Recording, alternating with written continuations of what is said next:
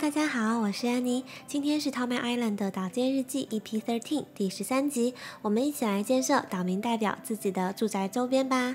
日记开始前，请不要忘记订阅我的频道，打开小铃铛，还有加入我的频道会员，就可以获得提前收看影片等等许多福利哦。首先，让我们一起来看一下地图的进展吧。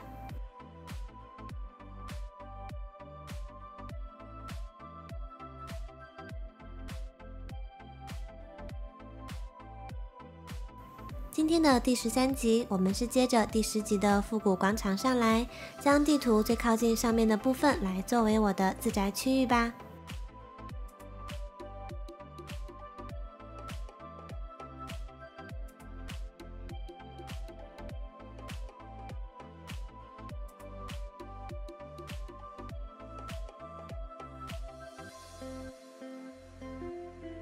先来跑一下今天整个区域，感受一下这里面积的大小。首先是铺路面，来 mark 一下房屋的位置。自己家的房屋占地面积是四乘以五，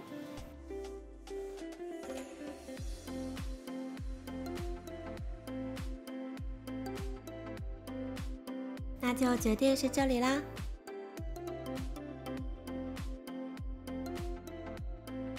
然后来铲一下斜坡的位置吧，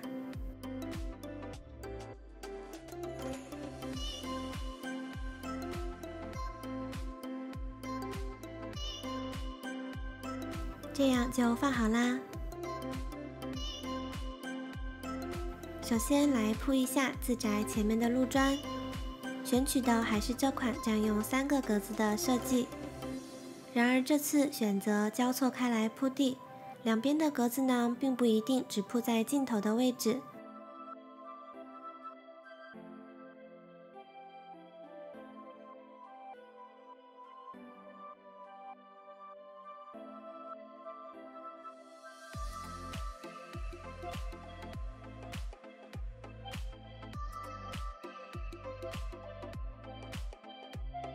让中间可以有一些小小的露出下面草地的感觉。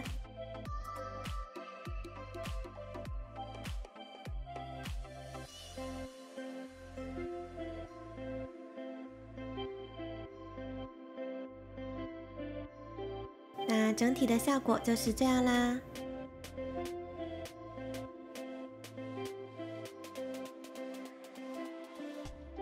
栅栏如果放在斜坡上来的第一格，会有一点点障碍感，选择重新放一下。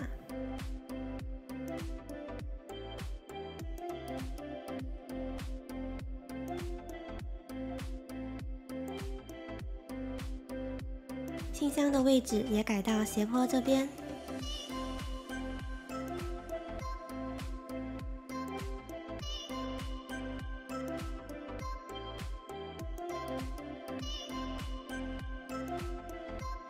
因为院子的面积比较小，所以非常想要在这个边缘的位置种树。然而悬崖的边边理论上是不可以种树的，所以就使用了悬崖种树的这个 bug。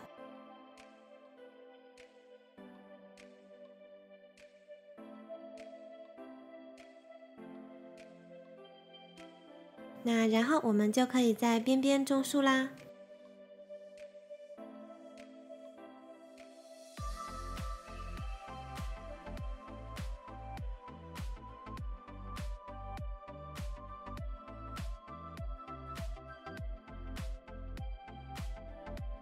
院子里一共有三棵阔叶树，因为后背靠着三层悬崖和大海，总有一点不安全感。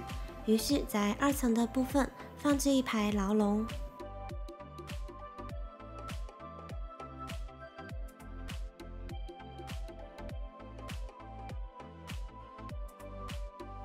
这样从三层看过去，就有一种围栏的安全感啦。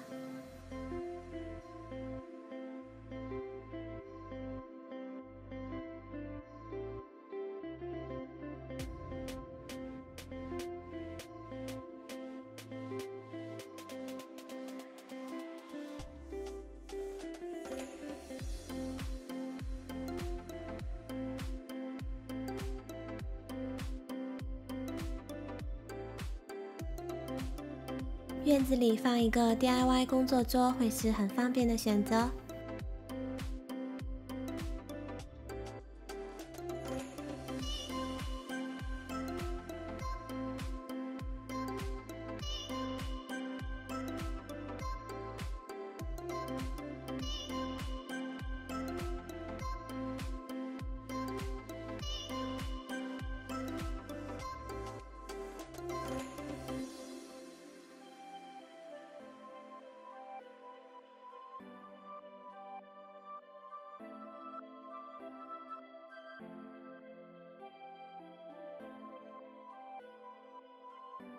右边的小院子，打造一个可以喝下午茶、吃甜点的休息区。沙发靠垫的改色是马尔赠送的布料哟。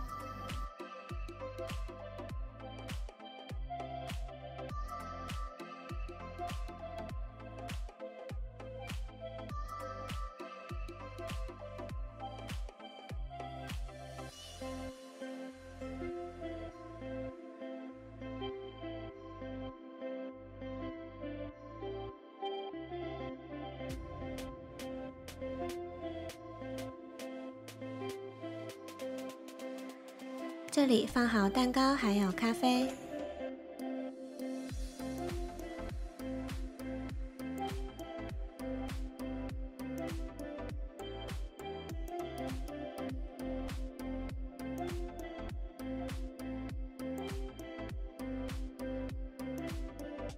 来把门上的装饰也换成最新款的吧。接下来我们来做右边这个区域吧。这里是居民区四期工程上来二层的位置。首先我们来铺路面，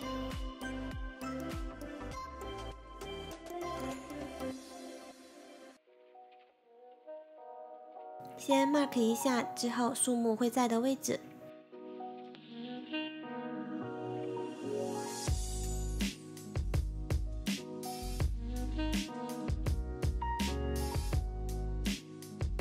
的部分还是选择夕阳风和树丛的间隔。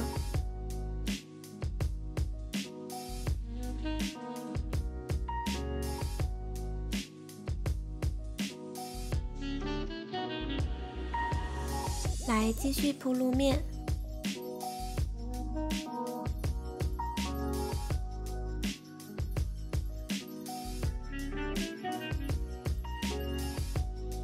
是长以一左一右的两棵树木，所以针叶树呢还是选择 L 尺寸的，这样才会和成熟体的阔叶树是一样高的。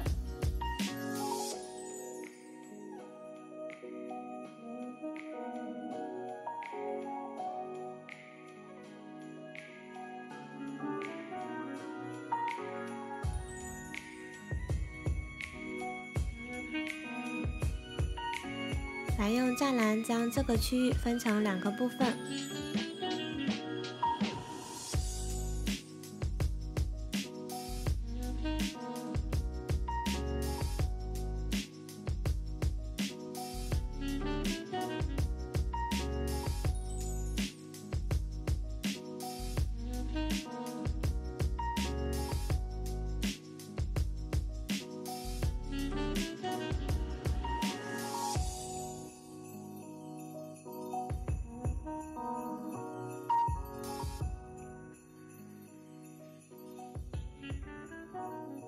角落种植一些花花，靠近尽头的部分种植并非当季不开花的灌木，来制造出一种马路尽头的感觉。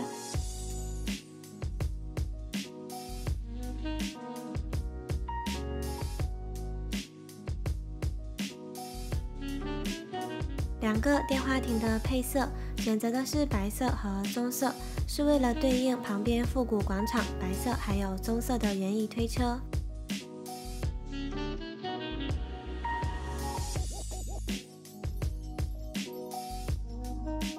因为这里附近都是偏集市比较热闹的区域，已经放置了很多家具和物品。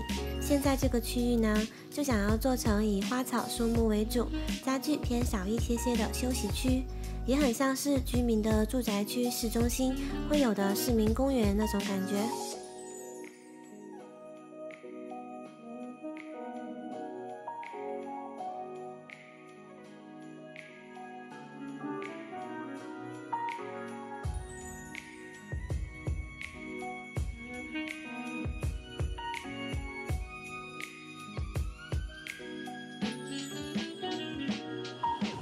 这里如果种一棵树，就会和前排的针叶树重合了，于是重新调整一下位置。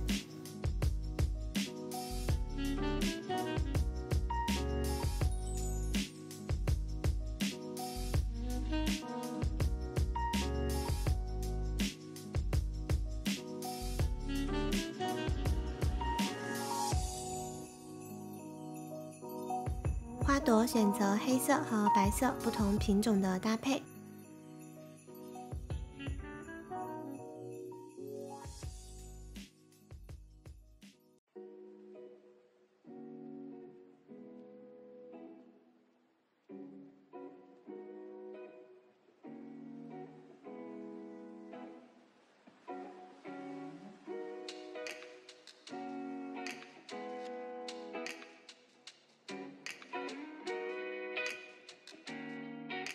因为后排的马路只有两格宽，种植一棵 M 尺寸的小树就不怕遮挡视野啦。今天最后一个部分是从复古广场走过来的这个小拐角。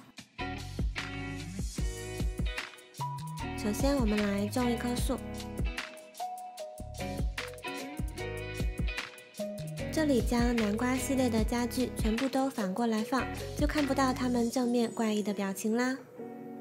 感恩节的限定家具里也有一颗小南瓜，万圣节和感恩节家具的联动。那最后还是铺碎花来结尾吧。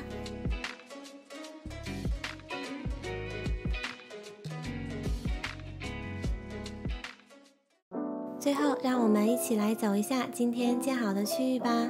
自宅的位置选择了第三层，小院子里有方便的 DIY 桌，有可以喝下午茶的休息区。下来之后，连接的是复古广场。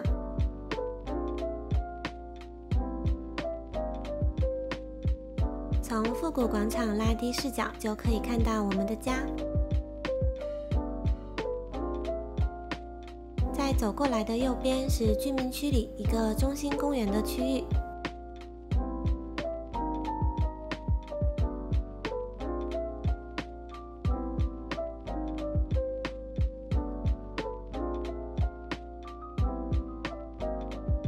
最后，让我们来看一下地图的变化吧。EP13 岛民代表终于也正式入住啦，建好了自宅的小院子，也做了一个城市公园来连接四周的各个区域。希望大家会喜欢这次的岛建日记，请不要忘记帮我点个赞和订阅我的频道呀。那我们就下次影片再见啦，拜。